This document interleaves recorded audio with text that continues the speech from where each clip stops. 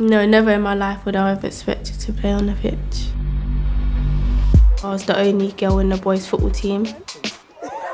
Pymmes Park, Craig Park, Montague Park. That's the main areas I used to play in. When I got to the age of about nine, that's when I signed for Tottenham because I wanted to take that step further. You just got to throw yourself out there.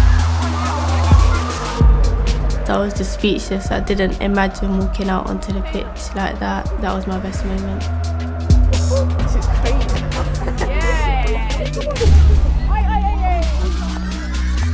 I don't know how to describe it, but it was actually amazing to be there and to be in the spotlight, just being in that atmosphere. You just got to take your chances as they come. First time here, it definitely won't be my last. Trust me.